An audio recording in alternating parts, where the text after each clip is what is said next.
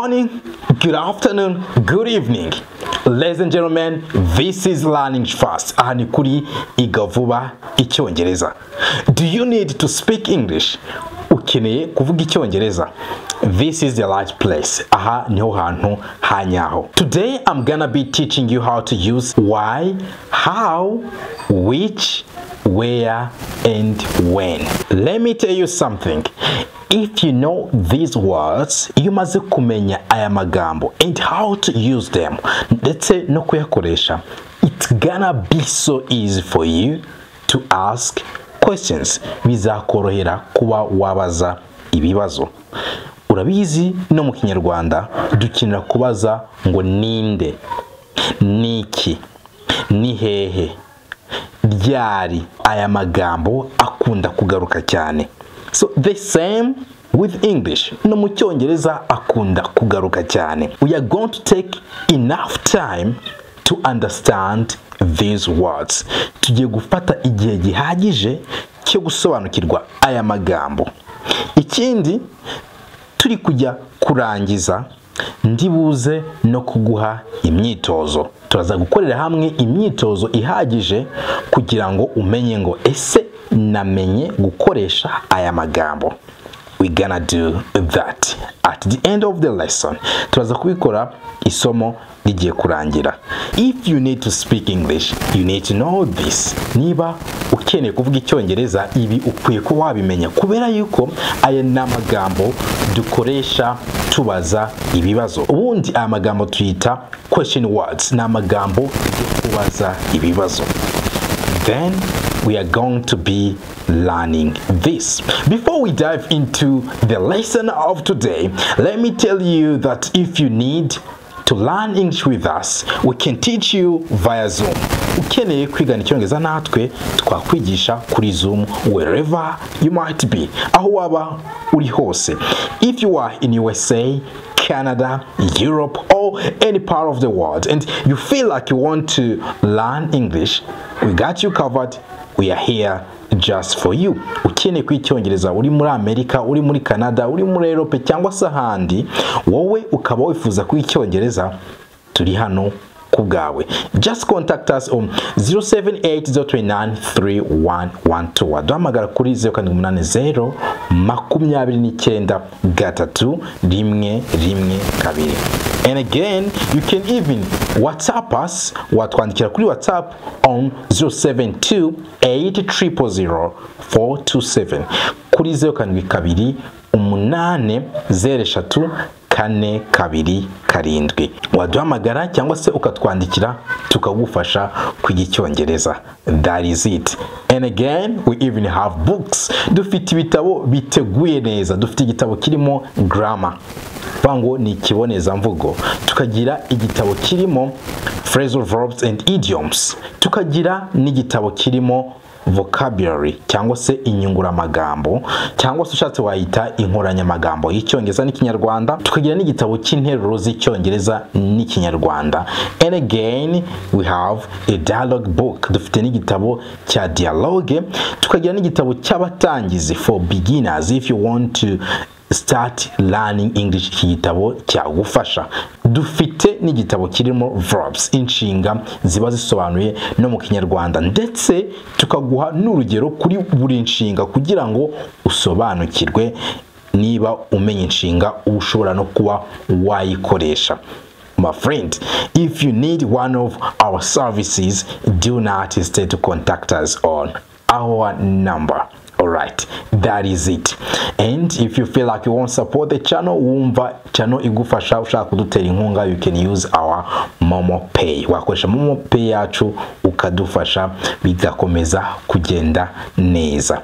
Today my friend we are going to be learning this wonderful lesson. Are you lady are you lady all right. Now let's dive into the lesson of today. Let's see how to use who, when, why, which, and more. All right, let's do this. All right, now let's start. Let's see these words. None reka dutangire reka turebe amagambo noneho turebe n'interuro zigufasha kubyumva neza ku buryo niturangiza iri somo uri buze kuba ushobora kuba wayakoresha who bisobanura inde what iki when ryari which ihe cyangwa se wuhe where hehe how gute why kuki. Who is used to ask about people. Ubundi iyi who tuyikoresha turi kubaza byerekeranye n'abantu. Uri kubaza umuntu icyo gihe ni ho ukoresha vuga ngo wayikoresha ari umuntu umwe cyangwa se abantu benshi hano dufite urugero ushobora kuvuga ngo who is he? Bivuze ngo ninde who is he? He is my teacher. Ni mwarimu wanjye he is my teacher. Noneho iyo ari igitsina gabo ni ho dukoresha he. Niho twavuga ngo who is he? Ari igitsina gore ubwo twari kuvuga ngo who is she? Te eh, ibindi bibazo bavuga ngo who are you? Who is he? Ninde?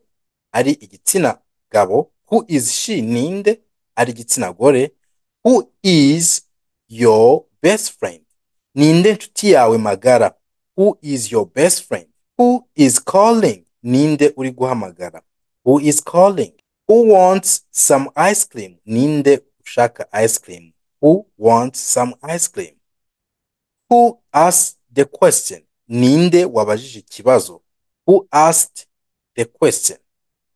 Who is faster? Ninde wihuta cyane? Who is faster?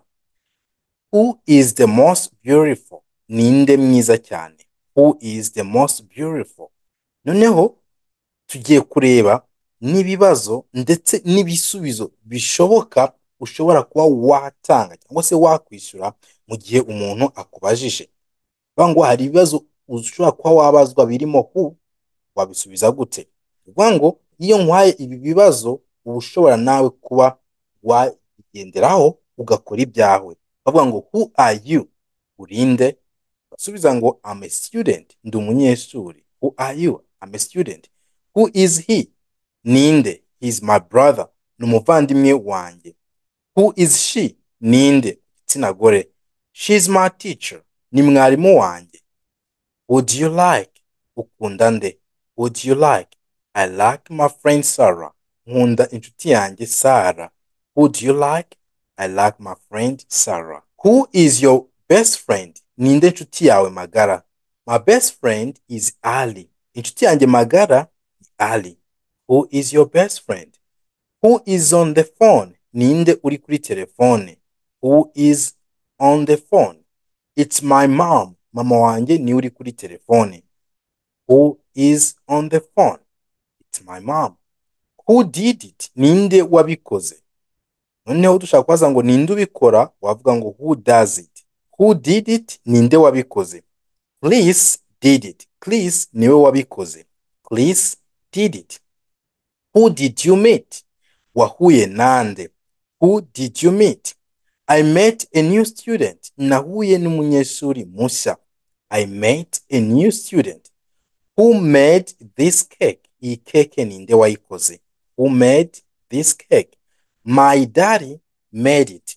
Papa wanjye ni we wayikoze my daddy made it. Who do you think will win? Utekereza ko ari nde uzatsinda. Who do you think will win? I think Sarah will win. Ntekereza ko Sarah azatsinda. I think Sarah will win. Who wants some ice cream? Ninde ushaka ice cream? I want some. Njye ndayishaka who said that? Ninde wavuze ibyo who said that? My teacher said that. Mwarimu wanjye ibyo ni we wabivuze. My teacher said that. Who is stronger? Ninde ufite imbaraga gusumba undi. Who is stronger? My daddy is stronger. Papa wanjye ni we munyambaraga. My daddy is stronger.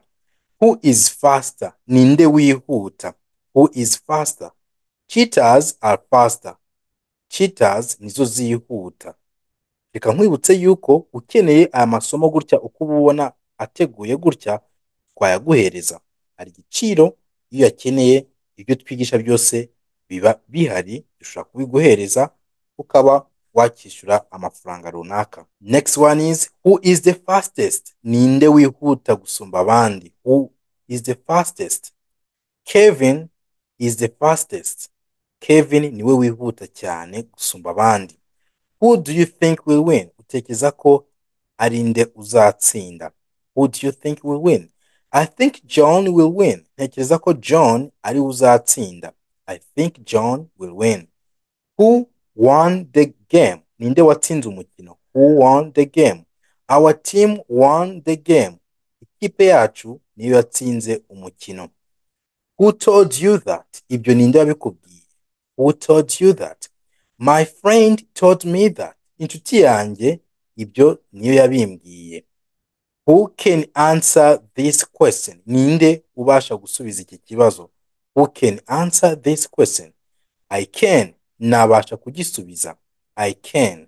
Who will be attending the meeting? Ninde uzitabira inama? Who will be attending the meeting? All team members will attend the meeting. Abo mu kipe bose bazitabira inama.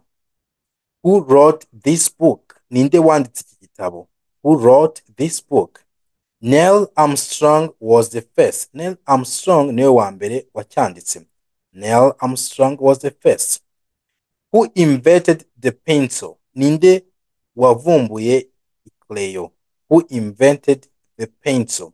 Nicholas jack conte invented it. Nicholas jack conte invented it. Nicholas jack conte ni we wayivumbuye cyangwa se ni we wayihimbye. Who discovered the law of gravity? Who discovered the law of gravity? Ninde wavumbuye itegeko rya gravite? Isaac newton discovered it.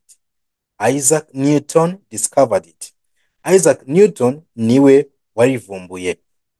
Who will be attending the meeting? Ni bande bazitabira inama. Who will be attending the meeting? All team members will attend the meeting. Abo mu ikipe bose bazitabira inama. All team members will attend the meeting. Who was the first person to land on the moon? Who was the first person to land on the moon ninde muntu wa mbere wageze ku kwezi? Who was the first person to land on the moon? Neil armstrong was the first. Neil armstrong niwe wahageze bwa mbere. Neil armstrong was the first. Who invented the telephone? Ninde wavumbuye telefone? Who invented the telephone? Alexander graham bell invented it. Alexander graham bell niwe wayivumbuye who was the president in 2023 ninde wari perezida muri bibiri na makumyabiri na gatatu? I don't remember him. Ntabwo mwibuka.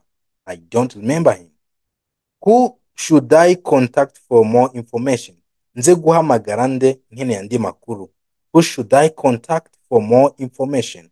You should contact customer service. Uze guhamagara abashinzwe serivisi you should contact customer service. Noneho ubu tugeze kuri what? What is used to ask about things? What iyo tuyikoresha tubaza ku bintu cyangwa se tubaza ibijyanye n'ibintu? Urugero what is that? Icyo ni igiki? It's a pencil. Ni icrayon cyangwa se ni ikaramu y'igiti. It's a pencil. What is used to ask about things?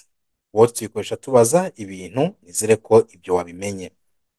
Tugiye kureba noneho ibibazo birimo what? Twavuga ngo what is it? What is this? Iki ni igiki? Cyangwa se what is that? Kiriya ni igiki. Aha hagomba kuba harimo is. What is this? What is that? That biravuze ngo kiriya ni igiki. What day is it? Ni uwuhe munsi? What day is it? What is the weather like? Ikirere kimeze gite?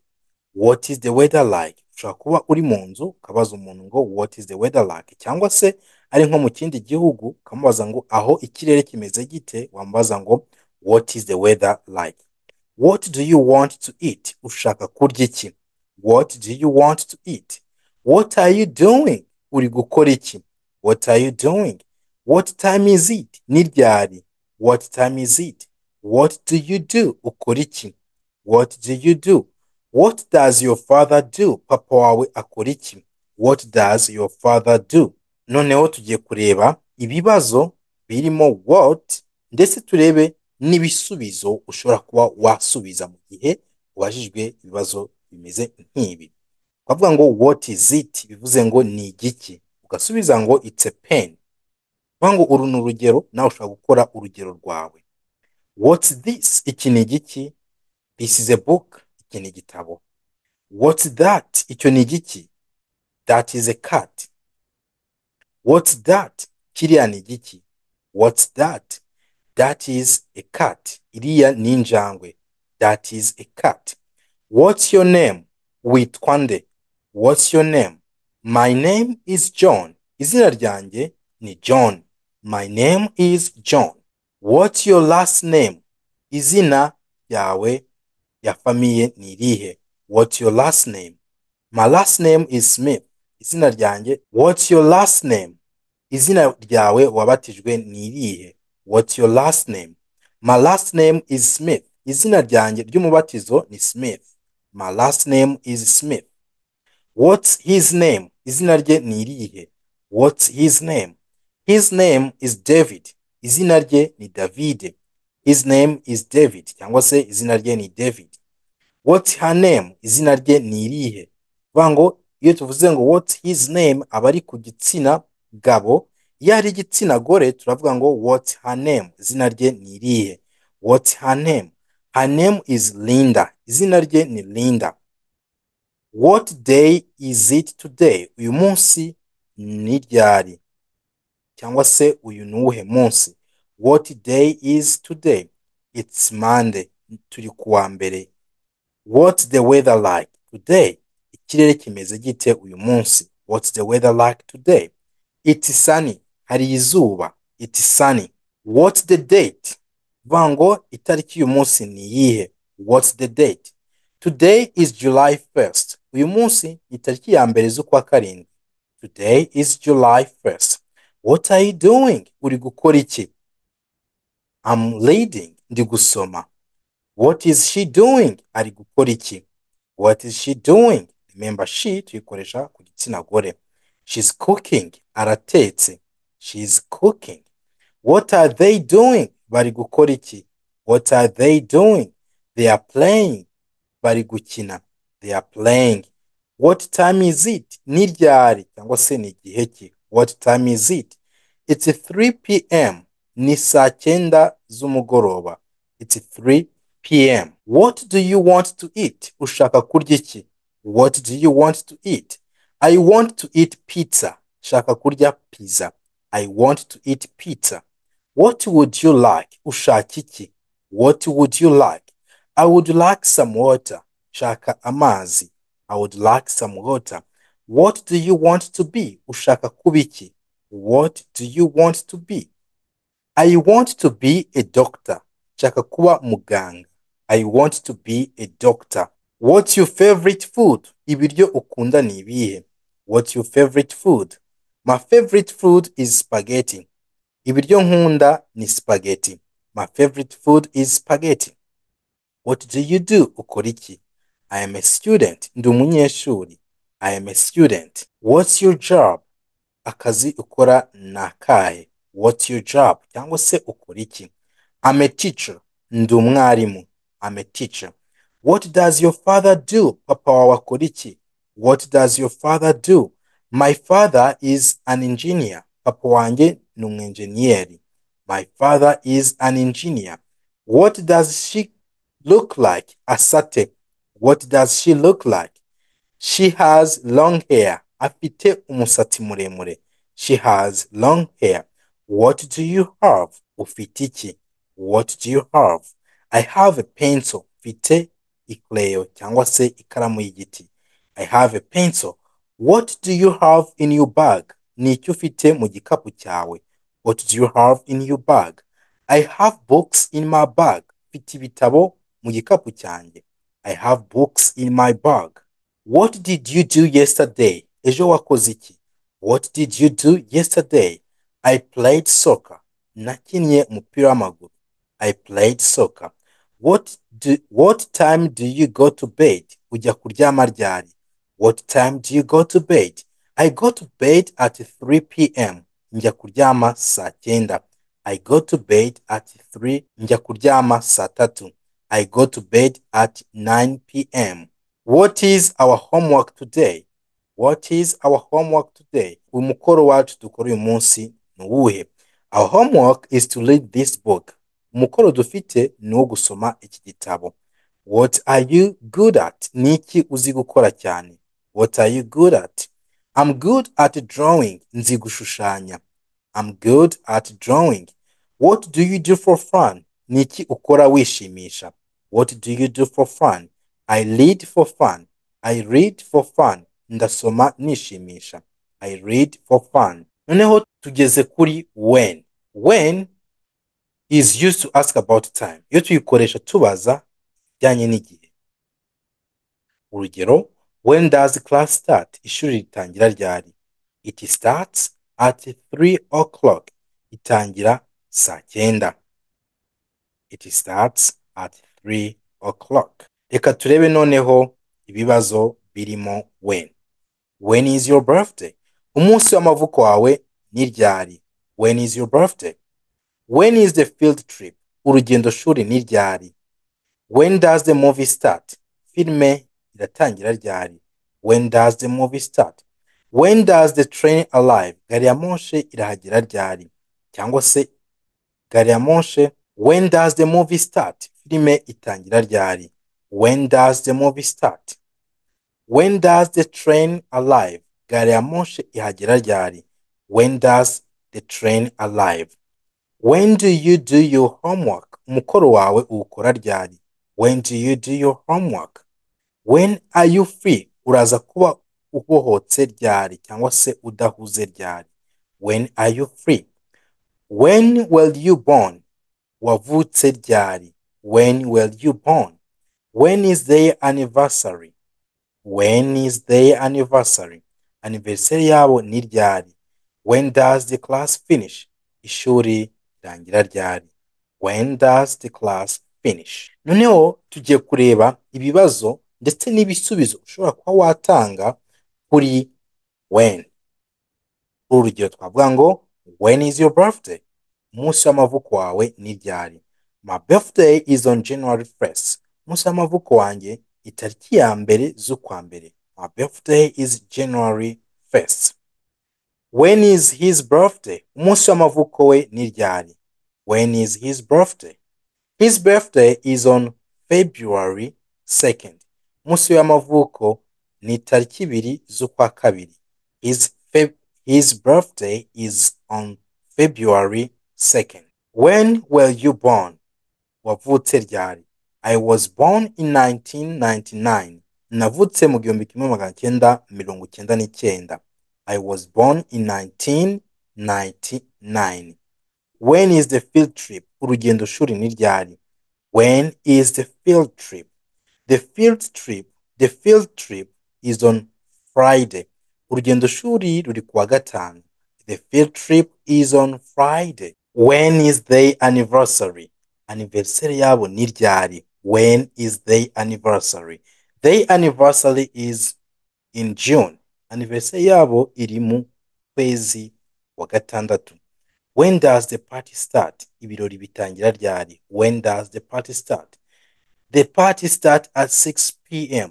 Ibirori bitangira saa kumi n'ebyiri z'umugoroba. The party starts at 6 p.m. When do you do your homework? Umukoro wawe uwukora ryari? When do you do your homework?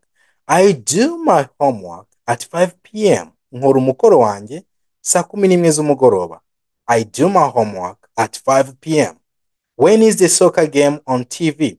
Umupira w'amaguru ujya kuri televiziyo ryari? When is the soccer game on TV? The soccer game is on Saturday. Umupira w'amaguru ujya kuri televiziyo wa gatandatu. The soccer game is on Saturday. When are the banks open? Bank zifungura ryari? When are the banks open? Banks are open on weekdays. Bank zifungura mu minsi y'imibyizi. Banks are open on weekdays. When is when is dinner ready? Amafunguro ari buze kuba yatunganye ryari? When is dinner ready? Dinner is ready at 7 p.m. Amafunguro ari buze kuba yateguwe saa moya z'umugoroba when do you get up ubyuka ryari when do you get up I get up at 7 am mbyuka saa moya za mu gitondo I get up at 7 am when does the movie start? Filime itangira ryari? When does the movie start? The movie starts at 9 pm filime itangira saa tatu z'umugoroba. The movie starts at 3 pm when did the first world war start? Intambara y'isi ya mbere yatangiye ryari? When did the first world war start? First world war started in 1914 intambara y'isi ya mbere yatangiye mu gihumbi kimwe magana cyenda na cumi na kane. When is the next solar eclipse? When is the next solar eclipse? Ubwira kabiri uzongera kuba ryari? When is the next solar eclipse? The next solar eclipse is in august. Ubwira kabiri buzakurikiraho buzaba kwa munani when is the deadline for this project? Itariki ya nyuma y'uyu mushinga ni ryari? When is the deadline for this project? The deadline is next monday. Itariki ya nyuma ni kuwa mbere utaha. When will the store when will the store rest lock? Ni ryari tuzashyira ibintu muri stock? When is the store rest lock? The store rest locks every tuesday. Tubika ibintu mu iduka byo gucuruza buri wa kabiri. The store rest locks every day. When does daylight savings time begin? When is the deadline for this project? When is the deadline for this project? Ni ukuvuga ngo itariki ya nyuma y'uyu mushinga ni ryari? The deadline is next monday. Itariki ya nyuma ni kuwa mbere utaha. The deadline is next monday. When will the store be filled iduka rizongera kuzuzwa ryari? When will the store be filled? The store will be filled on tuesday. Iduka rizongera kuzura wa kabiri. Iduka rizongera kuzura wa kabiri. When will the concert tickets go on sale? Amatike y'igitaramo azatangira gucuruzwa ryari? When will the concert tickets go on sale? Concert tickets go on sale next week. Amatike y'igitaramo azajya ku isoko mu cyumweru gitaha. Concert tickets go on sale next week. Now next one is when was the last time you saw her? Ni ryari uheruka kumubona? When was the last time you saw her? I saw her last month. Namubonye kwezi gushize. I saw her last month. When did you start learning english? Watangiye kwiga icyongereza ryari when did you start learning english? I started learning english five years ago. Natangiye kwiga icyongereza imyaka itanu ishize. When will the next season of the show premiere? When will the next season of the show premiere? Ni ryari imyiyereko y'abambere izaba? When will the next season of the show premiere? The next season premieres in the fall. The next season premiere is in the fall. Imyiyereko y'abambere iri mu gihe cy'itumba. Igihe cy'imyiyereko cy'abambere kiri mu itumba. When are the taxes due? Imisoro izatangwa ryari? When are taxes due? Taxes are due in april. Imisoro itangwa mu kwezi kwa kane. Taxes are due in april. When is the best time to plant roses? Ni ikihe gihe cyiza cyo gutera amaroza? When is the best time to plant roses? The best time to plant roses is in the spring. Igihe cyiza cyo gutera amaroza ni, ni mu muhindo. When did you start learning english? Noneho tugeze kuri where where niyo tugezeho. Where is used to ask about place. Noneho where yo tuyikoresha tubaza ahantu a place. Urugero twavuga ngo are my books? Ibitabo byanjye biri he? Are on the desk biri ku meza. Dufite izindi ngero. Where is my pencil case? Agakesi kanjye ko kubikamo amakereyo kari hehe where are my glasses? Amarineti yanjye ari hehe where is the post office? Post office ibiro by'iposita biba he? Where are you from? Ukomoka he? Where is he? Ari hehe? Icyo gihe ni igihe ari umugabo ni ho tuvuga ngo where is he cyangwa se ari igitsina gabo. Ari igitsina gore turavuga ngo where is she? None tuvuze ngo where is he from? Ni ukuvuga ngo akomoka he. Where is she from? Akomoka he ari igitsina gore. Where are they from? Bakomoka he. Where do you work? Ukora he. Where do you want to go? Ushaka kujya he? Where is canada on the map? Canada iri he ku ikarita? Reka turebe ibibazo n'ibisubizo kuri where where is my pencil case? Agakese kanjye k'amakereyo kari he? It's on your backpack. Kari mu gikapu cyawe cyo mu mugongo. Where is your book? Igitabo cyawe kiri he? Your book is on the table. Igitabo cyawe kiri ku meza. Where are my glasses? Amarinete yanjye ari he? Your glasses are on your head. Amarinete yawe ari where is the post office? Iposita iba he the post office is down the street. Iposita iri hepfo where are you from? Ukomoka he? I'm from canada. Akomoka muri canada. Where is he from? Akomoka he? He's from brazil. Akomoka muri brazil. Where does she live? Atuye he she lives in new york at muri new york where are chris and kerry from. Chris na kerry bakomoka he chris and kerry are from australia. Chris na kerry bakomoka muri australia. Where is canada on the map? Canada ku ikarita. Canada is north of the us on the map. Canada iri mu majyaruguru y'amerika ku ikarita. Where do you eat lunch? Nihe ufatira amafunguro ya saa sita i eat lunch in the cafeteria. Ibyo kurya byanjye bya saa sita bifata aho bacuruza ikawa. Where do you want to eat lunch? Nihe ushaka gufatira amafunguro ya saa sita. I want to eat lunch at the pizza place. Nshaka gufatira amafunguro yanjye ya saa sita aho bacuruza pizza. Where do you work? Ukora he? I work in an office. Nkora mu biro. Where do you want to go? Ushaka kujya he? Where do you want to go? I want to go to the beach nshaka kujya kumucanga where is your school? Ishuri ryawe riri he? My school is near the park. Ishuri ryanjye riri hafi ya parike. Where did you go last weekend?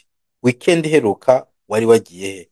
I went to the mountains last weekend. Nagiye mu misozi muri weekend iheruka. Where did you buy that dress? Iyo kanzu wayiguriye he? I bought the dress at the mall. Iyi kanzu nayiguriye mu isoko where were you yesterday? Ejo wari he where were you yesterday? I was at home yesterday. Ejo nari mu rugo i was at home yesterday. Where was the meeting? Inama yari iri kubera he. Where was the meeting? The meeting was in the conference room. Inama yari iri kubera mu cyumba cy'inama. We- where is the nearest hospital? Ivuriro riri hafi riri hehe. The nearest hospital is five miles away. Ivuriro hafi riri muri nk'eshanu. Where did you leave the car keys? Imfunguzo z'imodoka wazishize he? I left the car keys on the kitchen counter. Imfunguzo z'imodoka nazirambitse mu gikoni where are we meeting for dinner? Nihe turi buze guhurira dusangira amafunguro y'umugoroba. We are meeting for dinner at the italian restaurant turi buze guhura dusangira amafunguro y'umugoroba kuri resitora y'abataliyani. Where is the best place to see the sunset? Ni ahahe hantu heza ho kurebera izuba riri kurenga.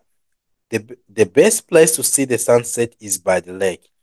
Ahantu heza ho kureba izuba rirenga ni ku kiyaga. Where can i find a good place? Where can i find a good pizza place? Nihe nabona ahantu heza ho kurira pizza. You can find a good pizza place downtown. Ushobora kubona ahantu heza ho pizza. Where did you study? Wize he i studied at the university of toronto. Nize muri university ya toronto. Where can i buy tickets for the concert? Nihe nagura amatike you can buy concert tickets online. Ushobora kugura amatike y'igitaramo kuri murandasi where will the event be held? Ibirori bizabera he? The event will be held in the city hall. Ibirori bizabera mu nzu y'umujyi where can i catch the bus to the city center? Nihe nafatira bisi yo kunjyana hagati mu mujyi catch the bus to the city center at the main station. Ufatire bisi yo kukujyana mu mujyi kuri sitasiyo nini. Where do you see yourself in five years? Urabona uzaba ugeze kuki mu myaka itanu? In five years i see myself speaking english fluently. Mu myaka itanu ndabona nzaba ndi kuvuga icyongereza ntategwa five years i see myself speaking english fluently. Iyo tugezeho ni why. Why bisobanura kuki? Why is used to ask about reason? Why yo tuyikoresha tubaza impamvu? Urugero twavuga ngo why are you so happy? Kuki wishimye because i love english class. Kubera ko nkunda isomo ry'icyongereza. Reka turebe ibibazo birimo why. Why are you sad? Kuki urakaye? Why are you sad? Why are you crying? Kuki uri kurira? Why are you crying? Why are you laughing? Kuki uri guseka? Why are you laughing? Why are you late? Kuki wakerewe? Why are you late? Why was Chris not at school yesterday? Kuki Chris atari ku ishuri ejo hashize why was Chris not at school yesterday? Why are you learning? Kuki uri kwiruka why are you learning? Why do people exercise? Kuki abantu bakora imyitozo ngororamubiri? Why do people exercise? Why do we need to study english? Kuki dukeneye kwiga icyongereza? Why do why do you think he did that? Kuki utekereza ko yakoze biriya? Why are you so happy? Kuki wishimye cyane? Why are you so happy? Because i got good news. Kubera ko nabonye amakuru meza cyangwa se nakiriye amakuru meza. Why are you laughing? Kuki uri guseka? Because the jokes was funny. Ni ukubera ko urwenya rwari rusekeje. Why are you crying? Kuki uri kurira? Why are you crying? Because i'm sad. Kubera ko mbabaye. Why were you late? Kuki wakerewe? Because there was a traffic kubera ko hari imodoka nyinshi mu muhanda. Why did you do that? Kuki wabikoze?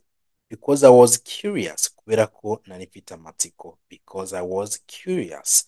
Why was chris not at work yesterday? Kuki chris atari ku kazi ejo hashize? Chris was sick yesterday. Chris yari arwaye ejo hashize. Why do you think he did that? Ni iki cyatumije abikora? Maybe he made a mistake. Ahari yakoze ikosa. Why are you running? Kuki uri kwiruka? Because i'm exercising. Kubera ko ndi gukora imyitozo ngororamubiri. Why do we need to study english? Kuki dukeneye kwiga icyongereza? To communicate globally. Kugira ngo tuvugane n'abandi bose bo ku isi. Why does he always complain? Kuki igihe cyose ahora yitotomba? He might be unhappy with things. Ashobora kuba hari ibintu bitamunezeza. Why do people exercise? Kuki abantu bakora imyitozo ngororamubiri? To stay healthy kugira ngo bagume bafite ubuzima bwiza. Why do people celebrate christmas? Kuki abantu bizihiza noheli to celebrate the birth of jesus kugira ngo bishimire ivuka rya yesu. Why are cars so expensive? Why are cars so expensive? Kuki imodoka zihenze cyane? Due to manufacturing and material costs ni ukubera uburyo zikorwa ndetse n'igiciro cy'ibikoresho. Why do students have to wear school uniforms? Kuki abanyeshuri bagomba kwambara impuzangano y'ishuri? To promote equality and discipline ni ukugira ngo babe baringaniye ndetse habeho ndetse batozwe n'ikinyabupfura. Iyo tugezeho ni which? Iyi which yo isobanura ngo kihe cyangwa se wuhe? Cyangwa se bahe cyangwa bihe. Iyi which rero is used to ask about choice. Tuyikoresha tubaza ku mahitamo. Urugero twavuga ngo which one do you want? Ushaka iyihe? I want the red one. Nshaka iy'umutuku. Reka turebe izindi ngero. Which one do you prefer? Uhisemo iyihe? Which teacher do you like the most? Nuhe mwarimu ukunda cyane. Which of my books do you like to borrow? Ni ikihe gitabo mu bitabo byanjye ushaka gutira? Which one is it? Ni ikihe which way is to the library? Nihe nzira igana ku isomero? Which restaurant shall we go to tujye muri iyo resitora tujye kureba ibibazo ndetse n'ibisubizo bishoboka. Which team do you think will win? Utekereza ko ari iyihe kipe izatsinda? I think our team will win. Ntekereza ko ikipe yacu izatsinda which teacher do you like which teacher do you like the most? Nuhe mwarimu ukunda cyane i like mr smith the most. Smith ni we nkunda cyane which of my books would you like to borrow? Ni ikihe gitabo mu bitabo byanyu ushaka gutira? I would like to borrow your science book? Nshaka ko untiza igitabo cya siyanse which one is it? Ni ikihe it is the third one. Ni icya gatatu which mountains is the tallest in the world? Nuhe musozi muremure ku isi. Mount everest is the tallest. Umusozi everest ni we muremure ku isi. Which one is bigger? Ni ikihe kinini? The elephant is bigger. Inzovu niyo nini? Which one is mine? Ni ikihe cyanjye the black one is yours. Icy'umukara ni cyo cyawe. Which one is yours? Ni ikihe cyawe. Red one is yours. Icy'umutuku nicyo cyawe. Which one tastes better? Ni ikihe kiryoshye cyane? The chocolate one tastes better. Iya shokora niyo iryoshye. Which language do you want to learn? Ni uruhe rurimi ushaka kwiga? I want to learn spanish. Nshaka kwiga icyesipanyolo. Which car brand do you prefer? Ni ubuhe bwoko bw'imodoka uhisemo? I prefer toyota. Nkunda toyota. Which type of music do you like ni ubuhe bwoko bw'umuziki ukunda which type of music do you like? I like rock music nkunda umuziki wa rock. Which season do you like the most? Ni ikihe gihe ukunda cyane?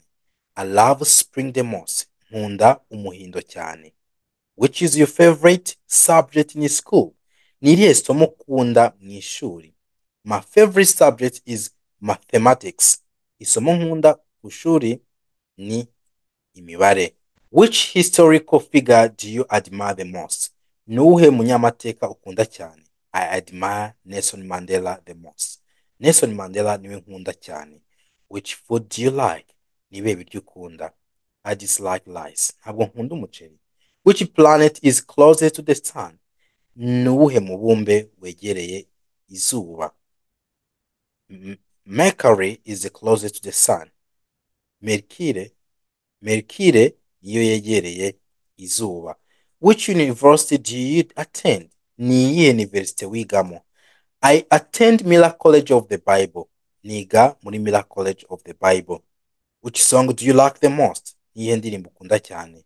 I like shape of you the most. Shape of you niyo nkunda cyane. Iyo tugezeho ni how. How irabaza ngo gute? How is used to ask about the way something is done. Ibaza ngo ikintu cyakozwe gute the condition of something cyangwa se uko ikintu kimeze cyangwa or the degree of something ingano y'ikintu. How was your vacation? Ikiruhuko cyawe cyari kimeze gite? It was great cyari kimeze neza. How old are you? Ufite imyaka ingahe? How are you? Umeze ute? How tall is he? Ni muremure bingana gute? How big is the house? Inzu ni nini ku buryo bungana gute? How far is the restaurant? Resitora iri kure ku buryo bungana gute? How can i improve my english? Ni gute nakongera icyongereza cyanjye? How do you cook spaghetti? Uteka amakaroni gute? How often do you exercise? Ukora imyitozo ngororamubiri kangahe? How often do you exercise? Now we are going to see questions and answers. None tujye kureba ibibazo n'ibisubizo ushobora kuba watanga kuri how. How are you? Umeze ute? I'm good thank you. Meze neza urakoze. How old are you? Ufite imyaka ingahe? I'm 20 years old. Mfite imyaka makumyabiri. How many pencils are there? Hari amakleyo angahe? There are five pencils ni amakleyo atanu. How was your vacation? Ikiruhuko cyawe cyagenze gite my vacation was great. Ikiruhuko cyanjye cyagenze neza cyane. How tall is he? Ni muremure bingana bite? His meter and half. Ni afite metero n'igice. How big is the house? Inzu ni nini bingana bite? The house is very big. Inzu ni nini cyane. How long is the river? Umugezi ni muremure ku buryo bungana gute the river is 500 miles long. Umugezi ufite mayiro magana atanu how far is the restaurant? Resitora iri kure uburyo bungana bute?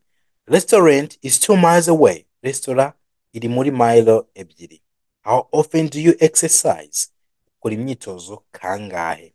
I exercise three times a week. Nkora imyitozo ngororamubiri gatatu. How did you do that? Wabikoze gute? I followed the instructions. Nakurikiye amabwiriza. How is that possible? Ibyo bishoboka bite? Through carefully planning. Mu, gutegura witonze. How can i improve my english? Nakongera icyongereza cyanjye gute? Practice speaking and reading every day. Ujye witoza. Kuvuga ndetse usome buri munsi. How much is it? Nangahe? It is $50 ni amadolari mirongo itanu. How many times do you brush your teeth a day? Woza amenyo kangahe ku munsi? I brush my teeth twice a day. Noza amenyo yanjye kabiri ku munsi. How many languages can you speak? How many languages can you speak? Wabasha kuvuga indimi zingahe? I can speak two languages. Nabasha kuvuga indimi ebyiri. How many pages are in this book? Igitabo gifite amapaje angahe this book has 300 pages. Igitabo gifite amapaje magana atatu. How is your family doing? Umuryango wawe umeze ute? My family is doing well. Umuryango wanjye umeze neza. How did you meet your best friend? Inshuti yawe magara mwahuye mute? We met in school. Twahuriye ku ishuri. How often do you watch movies? Ureba filime kangahe? I watch his movies every weekend. Ndeba filime muri buri weekend. Alright alright my friend. This is it. Tugeze ku musozo w'isomo uyu munsi. So iri somo nize neza yuko rigufashije kumenya gukoresha aya magambo twifashisha turi kubaza see you next time. I love you so much. Remember if you need to learn English with us just contact us on 0728000427 niba ushaka ko tukwigisha icyongereza twandikire kuri zeru karindwi kabiri umunani zeru eshatu kane kabiri karindwi watwandikira kuri whatsapp tuvugana cyangwa se ukaduhamagara kuri 078 029 3112 kuri zeru karindwi umunani zeru makumyabiri n'icyenda gatatu rimwe rimwe kabiri. We are just here at your service.